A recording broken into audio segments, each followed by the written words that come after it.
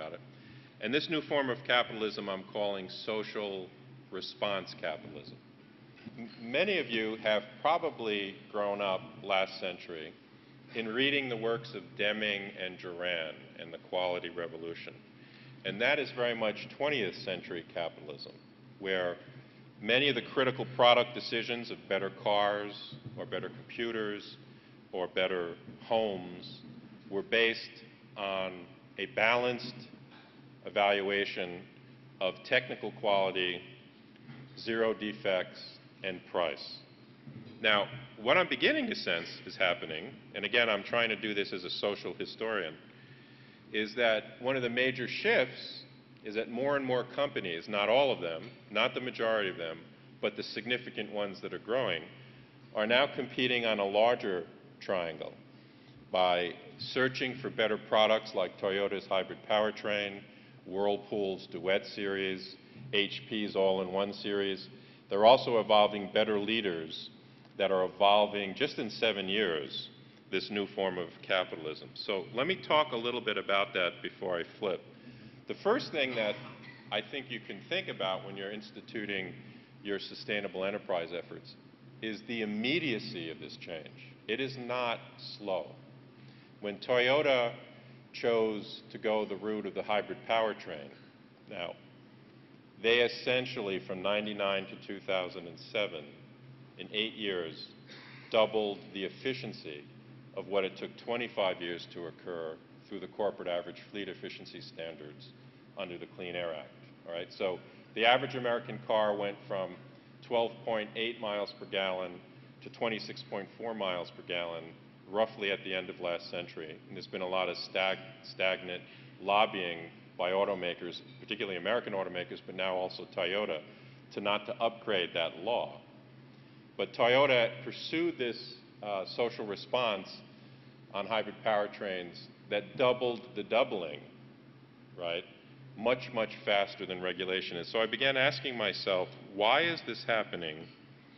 And why is there are some new markets to capture? Next slide, please. So if you read the chapter in the book called Social Response Capitalism, what I really believe is that the answer to sustainability is product efficiency. That one feature of sustainability that is inescapable is the rising price of energy. And therefore, the forces that are changing the things of interest to all of you in your future are not necessarily more rules. I am definitely, if you look at all my works, I'm definitely a person who believes that government enables change through rulemaking. But we're also seeing some forces here in society that are moving faster. So essentially, by using price, quality, and social needs in products, the first third of my new book is giving plenty of examples of how that's happening. I think all of you who are on boards, all of you that are working within companies also know that issues of the price of energy, the rising price of electricity, the rising price of natural gas are all indicating that these are significant internal issues for companies both large and small. So give you a couple of examples before I move past that one. From the year 1995 to the year 2000, in North America, the average homeowner had their utility bill increase about 4.2 percent, compounded across 60 months or five years. From 2000 to 2005, when I was writing this book, that rate of electricity increase increased 16.8 percent. So it's roughly a 400 percent rate of increase due to difficulties in siting, due to difficulties of supply, due to uh, power grid issues, many issues, just like the rising price of oil, which I'll show you in a minute. So sustainability is actually inside the corporate mansion now as an issue of the price of energy, a hedge against that rising price. So one of our clients, for example, Mel Jones of Sterling Planet, is selling renewables on 10-year hedges to large companies like Staples because renewables are probably going to increase less expensively than conventional fuels. So this is a new development that's quite significant. We're also developing products and services that respond to legitimate emerging social pressures and needs. So these are some of the changes I'm seeing. I'm seeing it at HP, I'm seeing it at Whirlpool, I'm seeing it at Toyota, I'm seeing it at every company that's beginning to think of itself in today's global equity market. So I told you about Stu Hart's book. I also suggest those of you that are learning in this area rapidly, you check out a man who's not too far from here, Mark Smith, who's in New York City, and he's written an important Wall Street book called The Global Equity Culture. So today is a historic day because 20 years ago, we had a Black Monday, and the stock market boomed and busted. All right? And today, the thinking is that Mark Smith is indicating is that we have a global equity culture where many, many, many more investors are balancing the risk than ever before. Right? So I suggest you read that because I think this is explaining how some of these firms are acting and how I describe it in my PowerPoint. So the last third of my book, and I'm just giving you the overview, is on money matters. And I, I want to give you a sense of these because there's some people in the room that are actually far more expert at, on this than I am.